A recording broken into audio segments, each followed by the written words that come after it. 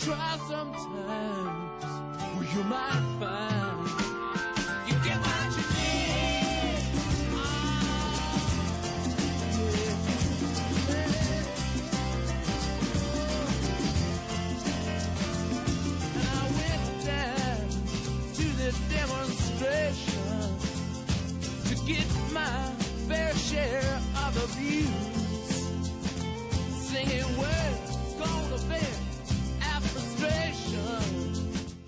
Monza, quarta tappa del campionato mondiale 2012, una tappa importantissima perché, perché è la tappa nella quale la Superbike festeggia i suoi 25 anni di storia. Qui a Monza ci sono veramente tutti i campioni del passato, da quel Fred Merkel, il primo ad aggiudicarsi il titolo mondiale Superbike, fino all'ultimo recente vincitore, ovviamente quel Carlo Ceca che è ancora impegnato per la lotta al titolo anche nel 2012. Una tappa importante per le quattro cilindri, Monza da sempre tracciato velocissimo, una tappa difficile per le bicilindriche, a meno che non ci metta ancora una volta allo zampino il meteo. Perché, perché se oggi venerdì il meteo è bello, eh, c'è sole, la luce è molto buona, le previsioni danno pioggia per sabato e domenica e allora a quel punto le bicilindriche potrebbero recuperare parte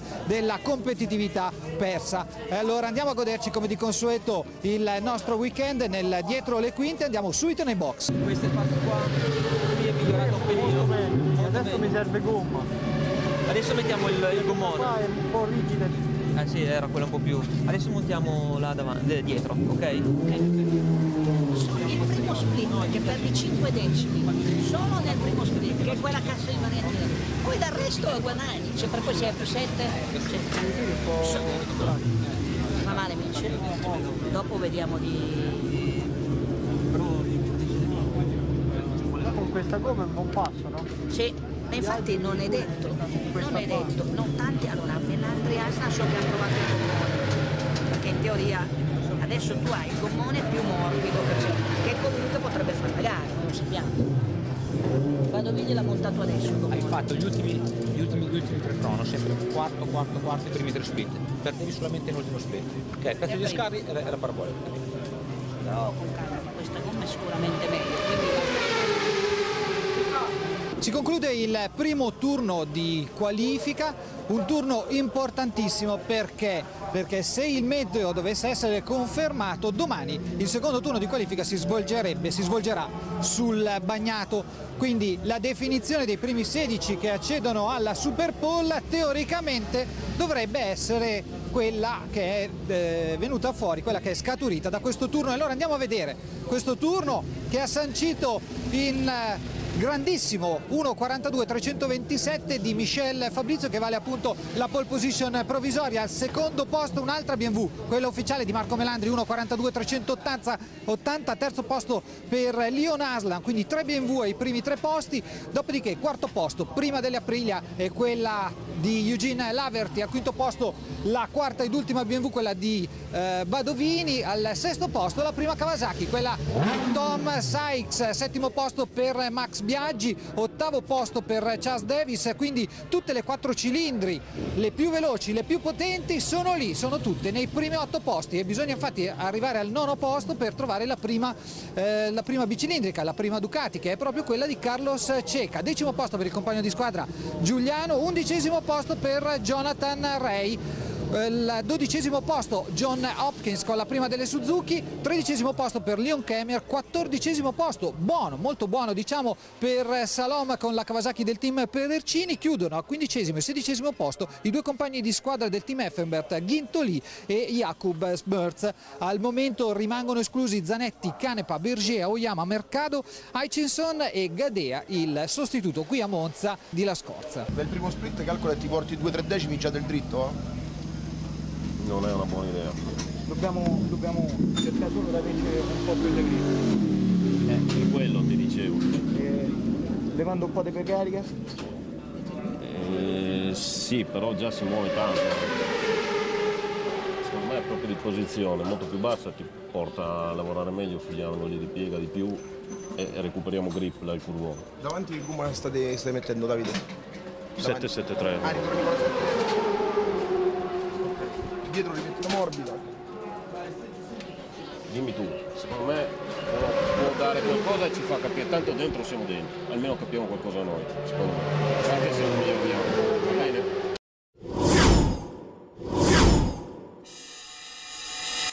La moto di Max Biaggi pochi istanti prima dell'inizio della Super Bowl è scesa dai cavalletti. Perché? Perché proprio nel turno di prove libere che ha preceduto la Super Bowl a mezzogiorno e mezza, in finale di turno Max è scivolato in un incidente dalla dinamica ancora poco chiara e quindi i, i, eh, i meccanici sono stati costretti a un lavoro eh, di messa a punto, di ripristino messa a punto della moto, ovviamente non previsto. Il meteo, pista totalmente bagnata, c'è qualche schiarita, ma insomma in questo momento non piove. Di usare le slick non se ne parla. Guardiamo la moto di Laverty, entra con le full rain, questo varrà ovviamente un po' per tutti, quindi Super Bowl bagnata, due turni da 20 minuti, 8 i, quelli che saranno eliminati nella prima Super Bowl, 8 ovviamente quelli che accederanno alla seconda Super Bowl. Andiamo a goderci le immagini in pista.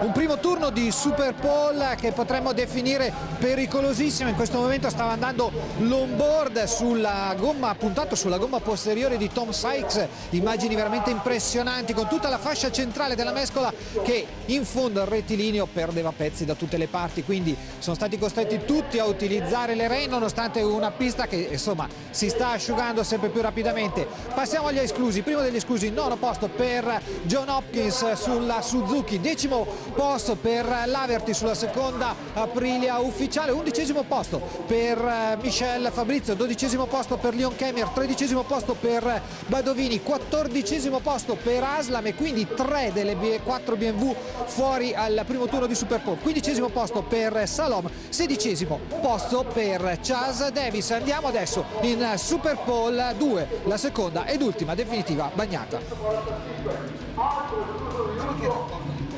da tá, do partido, tá, outra.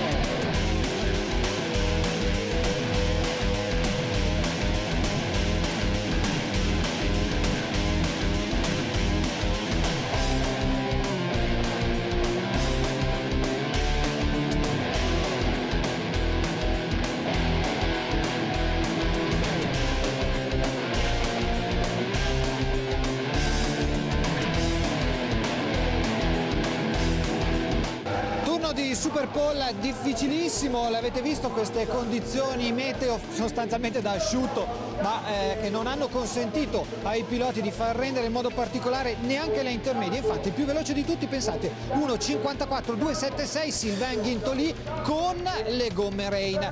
Il più bravo invece con le gomme intermedie Tom Sykes 1.54.990, Melandri terzo 55.971, quarto posto e chiude la prima fila Carlos Ceca 1.56.793. Apre la seconda fila con il quinto tempo Jonathan Ray 57.630, Max Biaggi sesto posto 58.666, settimo posto per eh, Cuba Smerz 59.718 e ottavo posto per eh, comunque un buon Davide Giuliano. Ma adesso andiamo a Parfermé a sentire direttamente la voce dei protagonisti.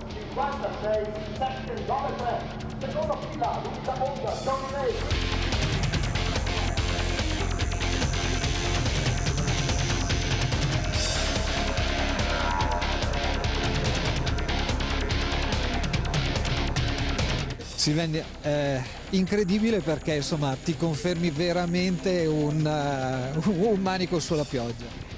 Sì, ma le condizioni qui erano molto eh, pericolose.